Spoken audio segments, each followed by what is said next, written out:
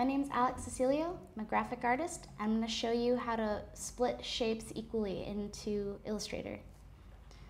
So the first thing I'm going to do is select the rectangle tool, and you can also push M as a shortcut. So I'm gonna, or it doesn't, it has to be the rectangle tool. It can be any tool you want. I'm using the rectangle tool to demonstrate. So I'm gonna draw a rectangle and make sure that it's selected. And you go to Object, and you go to Path, and then you select Split into Grid. And from here, it, you can choose how many rows and columns you want to split this shape into. So I'm going to say three rows, two columns.